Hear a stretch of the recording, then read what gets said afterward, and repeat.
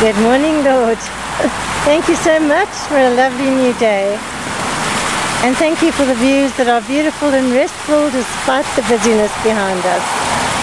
Thank you, Father, that as we just set aside this moment this morning to come into your presence, would you just connect us one to another as we pray together to our Father who is in heaven.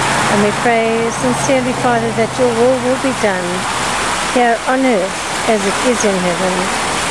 So in the busyness of this day, would you just lead us on the path of righteousness so that we may make the right decisions and stay closely connected to you and keep the refreshing view in mind. In Jesus' name, amen.